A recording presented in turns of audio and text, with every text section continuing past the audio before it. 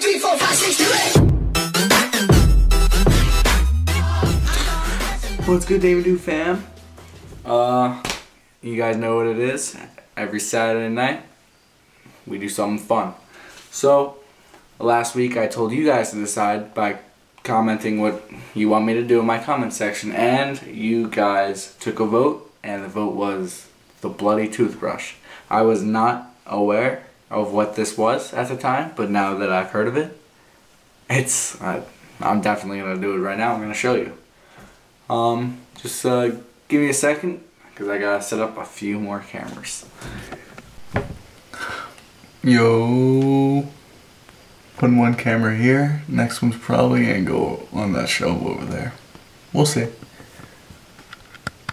Yo. Alright, this is my final camera. And, uh. Yeah. So let's get this bloody toothbrush thing going. Yeah.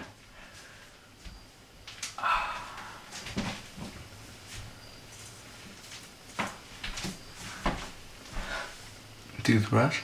So I'm pretty sure the rule is close the door, turn off the lights, and say bloody toothbrush three times while holding your toothbrush. And legends, you turn to a toothbrush. Ah, a bunch of BS if you ask me, but it's fun. So.